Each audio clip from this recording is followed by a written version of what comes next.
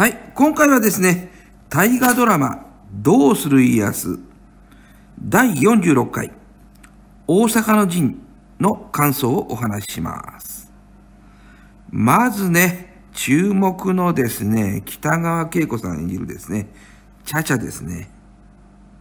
私ね、毎回ね、楽しみにね、見てるんですけども、今回ですね、あれちょっと今日ね、迫力ないなっていうかね、調子悪いな、みたいなね、思ってましたら、最後にね、急ハンドル切りましたね。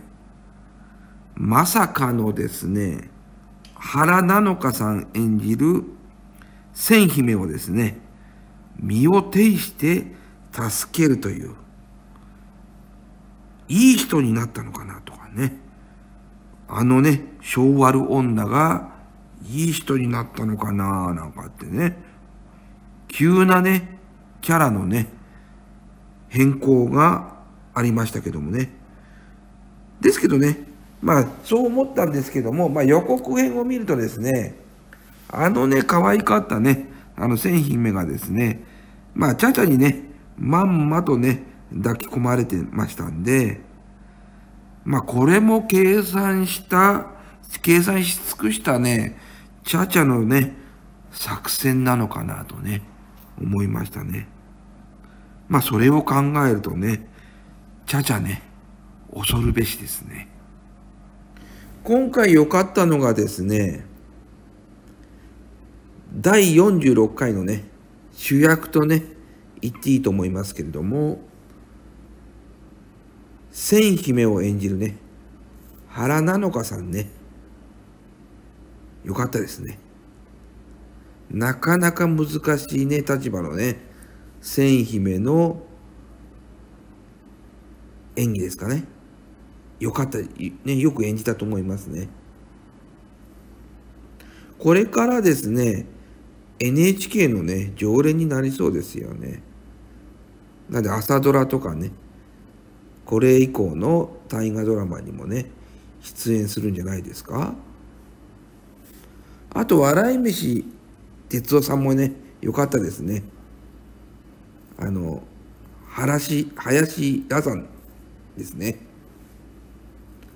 だってあの、声聞いてね、あの、あ、これなんか聞き覚えのある声だなと思って、あ、笑い飯の哲夫さんだとね、思ったぐらいに、もうですね、お坊さんにしか見えなかったですんでね。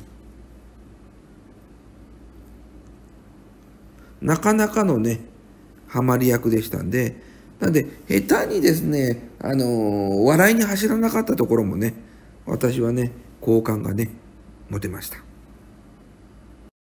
あとね、まあ、お笑い担当はですね、渡辺守綱演じるですね、木村昴さんですね。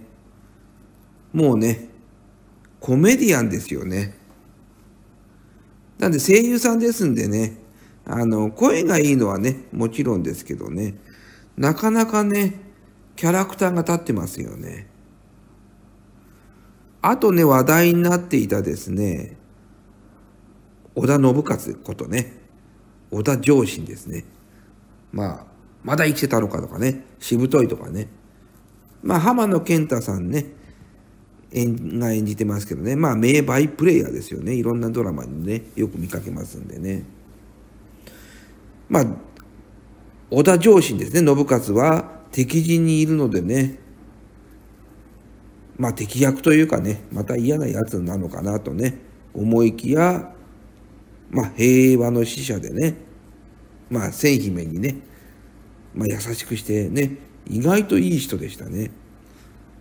ただね、力不足でね、まあ平和の使者の役目はね、果たせなかったですけどもね。まあ、ただあの片桐勝元のね、まあ、暗殺を失敗させたというかね勝元の命を救ったということでねまあよしとしましょう。ね。あとですね真田信繁ですね。他の武将がですねかなりね生きてですねまあ自己紹介ねしているのにまあ淡々とね喋るあたりがですねちょっと堺雅人さんっぽかったかなっていうね感じはしましたね。なんで真田丸にね引っ張られたのか。ねえー、実力のある武将はねそんなにこう生きらないというかね力まないのかね。まあそういう演出なのかね。真田丸に対してのこのリスペクトなのかね。まあちょっとあのそんな感じをね受けましたね。でですね大河ドラマガイドのねあらすじではですねまあ、47回と48回がねまとめて書いてあるんですよね。ですんで私はねてっきりね1時間スペシャルで、まあ、4748回やるのかなとね思ってましたけどもまあそうじゃなさそうですね。ちゃんとねあの、分けてねやるようですね。ということでですね次回ですね第47回ですね乱世の亡霊ですね。まだね大阪冬の陣もね終わってませんのでねまあ終盤というところでしょうかね。まだまだね見どころはありそうです。千姫のね気持ちに、ね、なってみるとですねまあ自分のいるところへね大砲を撃ち込まれたということでね。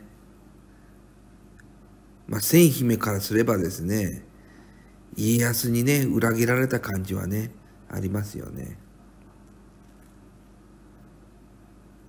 なんで千姫はですねまあ自分をね殺そうとして家康をね許され許さないでしょうね。